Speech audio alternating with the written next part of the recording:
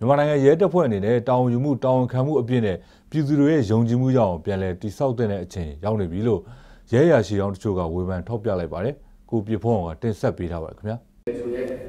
မြန်မာနိုင်ငံရဲတပ်ဖွဲ့ရဲ့လောက်ကင်ဆောင်ရွက်မှုအခြေအနေတွေနဲ့ပတ်သက်ပြီးပြည်သူတွေကဝေဖန်မှုရှိနေတဲ့အပေါ်ရဲအရာရှိဟောင်းတချို့ကသုံးသပ်ပြောဆိုလိုက်တာပါပြီးခဲ့တဲ့ရပိုင်းအတွင်းကအများပြည်သူတွေစိတ်ဝင်စားစောင့်ကြည့်နေတဲ့လိန်ချမ်းဖတ်မှုခံရတဲ့ဗစ်တိုးရီးယားအမှုအပေါ်ရဲတပ်ဖွဲ့ဝင်တွေရဲ့ဆောင်ရွက်ချက်ပြောဆိုမှုတွေဟာ တည်ဆဲဥပဒေတွေချိုးဖောက်ခဲ့တဲ့အပြင်ရဲတပ်ဖွဲ့ဝင်တွေရဲ့ဂုဏ်သိက္ခာကိုပါထိခိုက်စေတာကြောင့်ကျူးလွန်သူအရာရှိတွေကိုပြန်လည်ရေးယူပေးဖို့ဒူရဲမှုဟောင်းမိုးရနိုင်ကပြောပါတယ်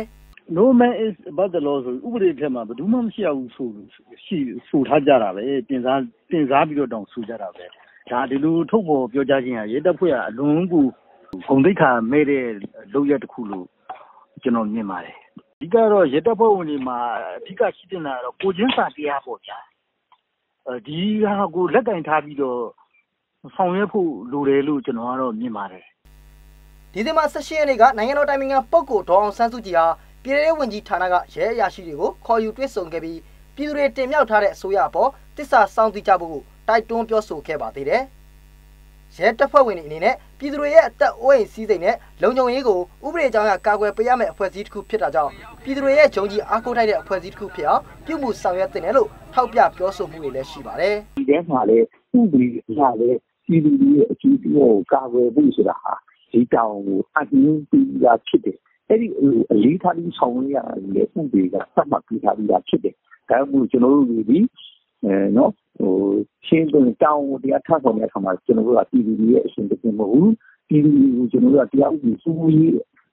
ဝန်ဆောင်မှုအတွက်ကိုကျွန်တော်တို့ဝန်ဆောင်မှုရှင်းရှင်းပြီးဆိုမှပြည်သူတွေကိုအယုံကြည်ပြုနေရတဲ့အဖွဲ့အစည်းတစ်ခုဖြစ်တယ်ဆိုတဲ့အမြင်မျိုးနဲ့ခံကျင်တုံးပြီးသွားနိုင်လို့ရှိရင်ကရဲနဲ့ပြည်သူရဲ့ကြားထဲမှာအခုဖြစ်တော့ရှိရှိကြတယ်ပါပဲ